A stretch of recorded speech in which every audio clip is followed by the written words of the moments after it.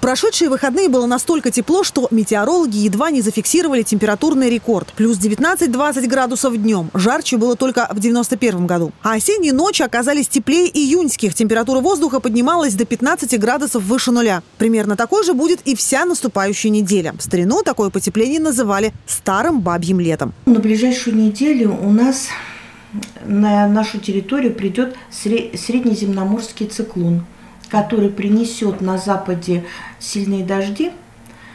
Вот. Но у нас осадки будут кратковременные, небольшие в основном.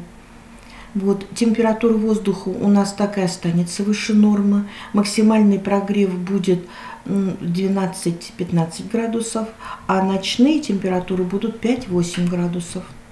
Но вот в целом температура воздуха все равно будет на 5 градусов выше нормы.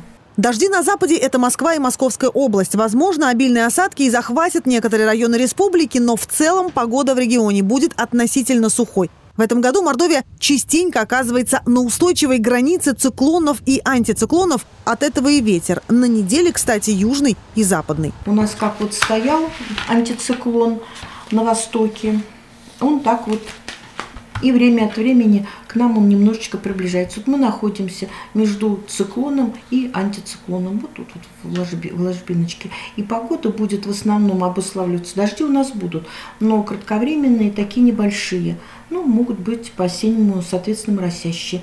И основная масса осадков придется это вот в Москву и на западе до нас, а потом уйдет она вся на север. Что касается почвы, то она постепенно отходит от засухи, верхние слои основательно увлажнились, и первыми это заметили грибники. Сентябрь был дождливым сверх нормы, зато октябрь обещает побаловать последним в этом году теплом. Людмила Кусерова, Александр Зюзяев. Наши новости.